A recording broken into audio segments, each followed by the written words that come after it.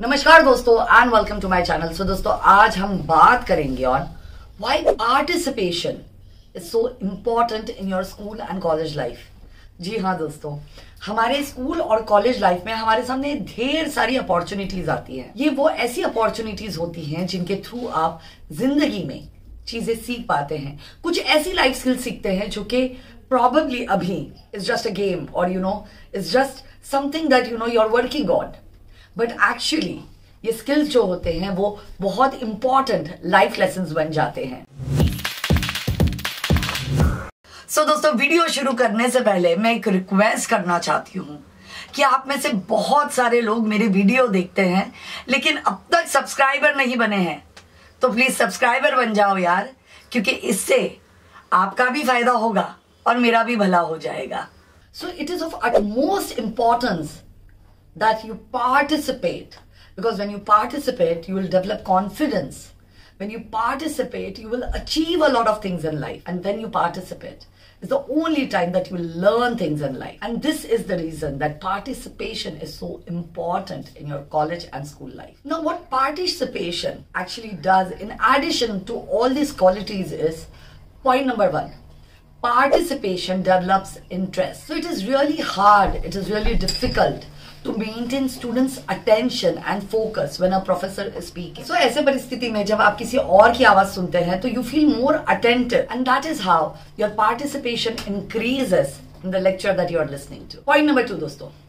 Participation engage student और I mean by this अगर कभी कोई प्रोफेसर आपसे रैंडमली कोई सवाल पूछता है तो आप अचानक चौक जाते हैं.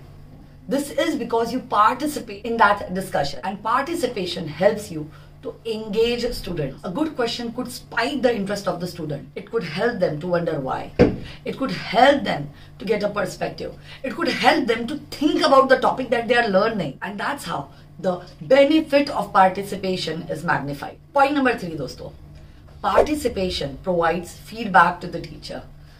For example आप क्लासरूम में बैठे और आपकी टीचर आपसे एक सवाल करती है और अगर उस सवाल का आप जवाब नहीं देते हैं या आप जैसे और चार बच्चे नहीं देते हैं तो वो टीचर को समझ में आ जाता है कि नो जो वो बताने की कोशिश कर रही है या जो वो चीज़ सिखाने की कोशिश कर रही है, वो तो शायद बच्चों को समझ में ही नहीं आ रहा है। तो in this way the teacher gets a feedback about the learning of our students next दोस्तों in the similar way point number four participation also gives feedback to the student again अगर टीचर ने कभी कोई सवाल पूछा है classroom में, और आपके साथ वाले चार पाँच बच्चे उस सवाल का जवाब दे देते हैं लेकिन आप अगर नहीं दे पाते तो इट मीन्स दैट कहीं ना कहीं you are not understanding the reference to the context well it gives you a feedback that you need to learn more you need to concentrate more and you need to work more on your skills and that topic. Point number five.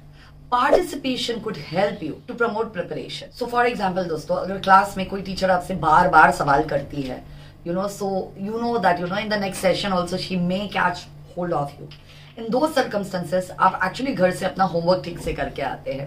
You prepare those answers that she might ask you and that's how you develop so participation also helps you in your preparation point number six participation could be use to control what's happening in the classroom so दोस्तों अगर आपके classroom में कुछ ऐसे बच्चे हैं जो कि सो रहे हैं या यू you नो know, जो कि आदि है सोने के ऐसे बच्चों से अगर आप सवाल करो तो यू you नो know, वो अचानक उठ के खड़े हो जाते हैं। So this is where participation helps you because uh, kahin na kahin because of participation you get control of your classroom and you could control how students respond to your questions next dosto point number 7 participation helps us to understand that who is contributing how much in your classroom ऐसे कौन से बच्चे हैं जिनको आप जो कह रहे हैं वो समझ में आ रहा है ऐसे कौन से बच्चे हैं जिन पे टीचर्स को वर्क हार्ड करना है जो कि जवाब नहीं दे पा रहे। सुनाओ दोस्तों, अगर क्लासरूम में हर बार टीचर किसी एक ही बच्चे को पकड़ती है तो classroom would be reluctant right कि हाँ उसी को जवाब देना है। लेकिन दोस्तों, अगर टीचर अलग अलग बच्चों को टारगेट करती है तो बच्चे पहले तो प्रिपेयर आएँगे। And at the same time when you listen to the same contact from different different people you you learn to have a narrate, you learn to have your own perspective on it which helps you in retaining information for a long time. And finally, dosto, participation also increases the dialogue between the students because students would discuss a particular question or a particular answer because of which they will be teach and they will be taught. And dosto, teaching and being taught is one of the best ways to learn things. So thus dosto, participation is very, very, very important when it comes to your school and college life. Thank you so much. God bless you all. अगर आपको मेरा content अच्छा लगता है motivate करता है तो please subscribe to our channel क्योंकि ये आपके लिए तो फ्री में है, लेकिन इससे हमारी बहुत हेल्प हो जाती है।